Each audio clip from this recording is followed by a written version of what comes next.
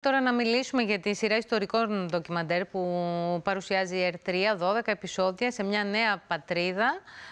Από σήμερα λοιπόν στις 7 η ώρα το πρώτο επεισόδιο και έχουμε κοντά μας τον κύριο Γιώργο Κάσδαλη που είναι ο καλλιτεχνικός διευθυντής και παραγωγός αυτής της σειράς καθώς είναι αφιερωμένη στα 100 χρόνια από τη μικρασιατική καταστροφή και βασίζεται σε μαρτυρίες και θα γνωρίσουμε ανθρώπους που πρωταγωνίστησαν.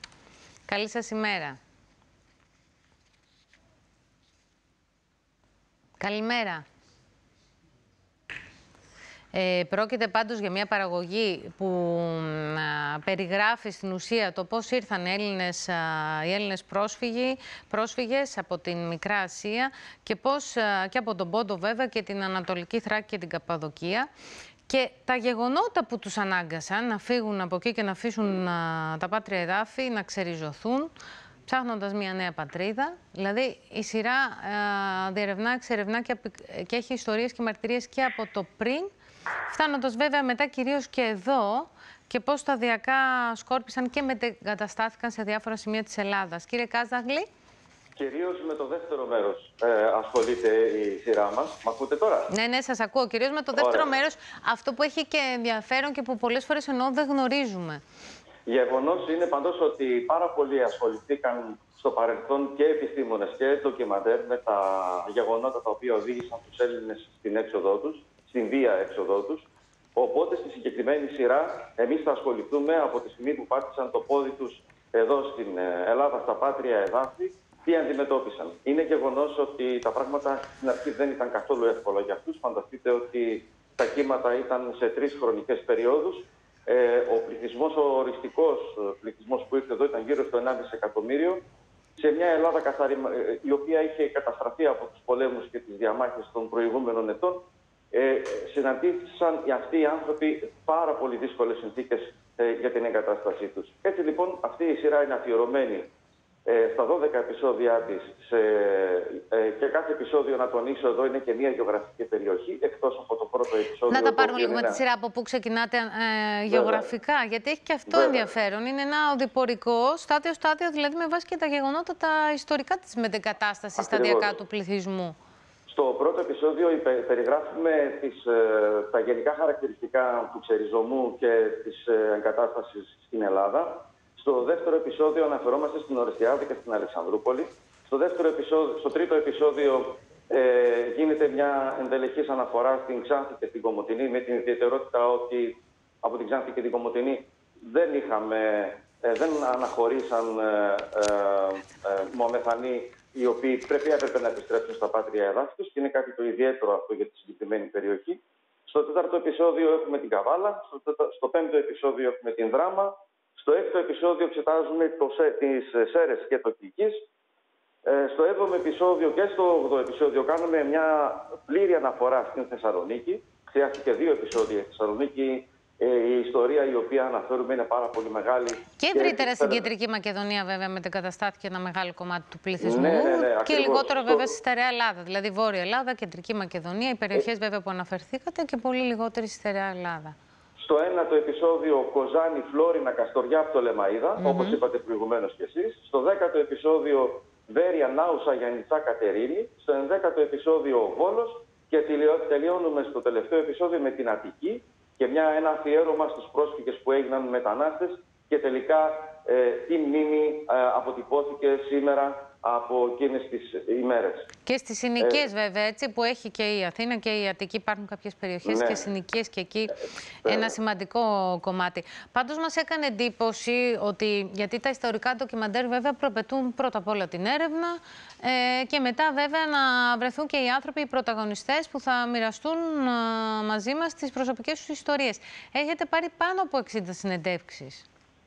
Είναι γύρω στου 65 συμμετέχοντες οι οποίοι προέρχονται από τον καλλιτεχνικό χώρο, ε, είναι πρόεδροι ή ε, είναι μέλη σε οργανισμούς που κρατάνε ζωντανή τη μνήμη.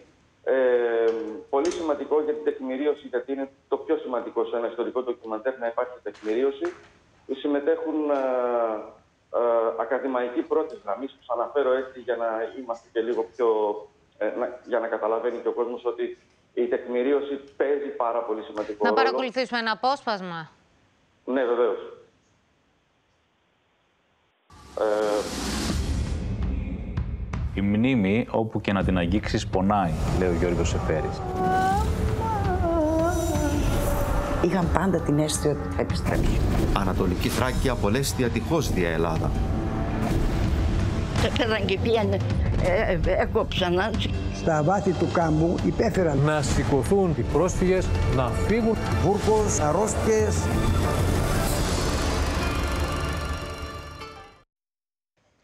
Οι άνθρωποι δέχτηκαν να σας μιλήσουν, γιατί πρέπει να υπάρχει πρώτα απ' όλα και εμπιστοσύνη. Δεν είναι απλό να γίνει ένα ιστορικό ντοκιμαντέρ. Από εκεί πέρα, οι συμμετέχοντες μοιράστηκαν και προσωπικά αρχεία, ντοκουμέντα, φωτογραφίες, οικογενειακά κοιμήλια. Πάρα πολύ σημαντικό στο γεγο- το γεγονός ότι ε, σε αυτή τη σειρά θα δούμε για πρώτη φορά ε, ντοκουμέντα, φωτογραφίες, κοιμήλια, τα οποία δεν έχουν ξαναπαρουσιαστεί στην ελληνική τηλεόραση. Ξέρετε, ήταν πάρα πολύ σημαντικό για μας να καταγράψουμε την τοπική ιστορία κάθε τόπου που επισκεφτήκαμε. Δηλαδή, ας δώσουμε ένα παράδειγμα και ας πιαστούμε από τις αίρες. Ε, δεν έχουμε παρουσιάσει στο παρελθόν, τουλάχιστον εμείς δεν έχουμε ξαναδεί, μιας και ασχολούμαστε πέντε χρόνια με το ιστορικό ντοκιμαντέρ και το έχουμε ε, εξετάσει αρκετά καλά. Δεν έχουμε δει ότι ε, πώς ήταν οι Σέρες εκείνη την εποχή, γιατί τα τεκμήρια της εποχής εκείνη ήταν πάρα πολύ μικρά. Η Σέρες προήρθε ε, εκείνη την εποχή, είχε, είχε καταστραφεί από μια πολύ μεγάλη πυρκαγιά, είχε καταστραφεί από την επέλαση των Βουλγάρων και έτσι τα τεκμήρια ήταν πάρα πολύ λίγοστα. Παρ' όλα αυτά, οι άνθρωποι μας εμπιστεύτηκαν, οι ιστορικοί ερευνητές, οι πρόεδροι των συλλόγων και άλλων φορέων μας εμπιστεύτηκαν το προσωπικό τους ή το, ο- το αρχείο τους γενικά και έτσι θα δείξουμε για πρώτη φορά στην ελληνική τηλεόραση αρχεία πράγματα τα οποία δεν έχουμε ξαναδεί. Ε, Ωραία, είναι επί- πολύ ενδιαφέρον και αυτό και σημαντικό γιατί σας άνοιξαν τα σπίτια τους και από εκεί και πέρα βέβαια θα, θα το μοιραστούμε έτσι όλοι μαζί αυτό. Να πούμε ότι σήμερα είναι το πρώτο επεισόδιο που θα δούμε. Σωστά.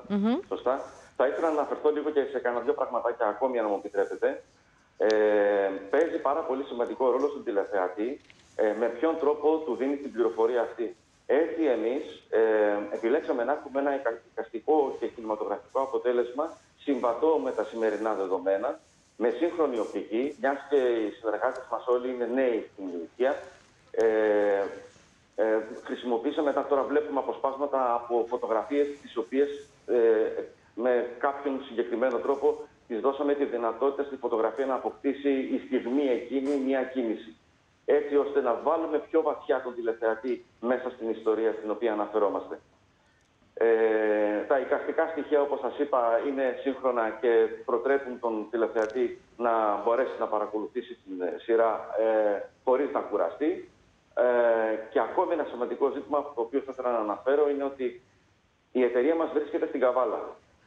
Η διοίκηση της ΕΡΤ και βεβαίως και η διεύθυνση, η Γενική Διεύθυνση της ΕΡΤ 3 επέλεξε να υλοποιήσει τον στόχο της, δηλαδή να δώσει βάρος στην ε, περιφερειακή συνείδηση που έχει η ΕΡΤ3 και έτσι πέραν των άλλων ε, χαρακτηριστικών των οποίων ήθελε να εξετάσει η Γενική Διεύθυνση ήταν και το γεγονός ότι μια εταιρεία από την περιφέρεια, και αξίζει να αναφερθεί αυτό, ε, μπόρεσε να σταθεί στο ύψος των περιστάσεων, αφού βεβαίως πέρασε την αξιολόγηση που έπρεπε να περάσει. Ναι, και να εντάξει, αυτό προσφέρει είναι ένα- αυτονόητο η αξιολόγηση. Κύριε Κάσδαλη, ναι, να σα ευχαριστήσουμε πολύ. Ε, τονίσατε και για τον περιφερειακό ρόλο της ΕΡΤ3 και κυρίως, βέβαια, αναλύσαμε μαζί και το ιστορικό προφίλ αυτής της νέας σειράς ιστορικών ντοκιμαντέρ της ΕΡΤ3.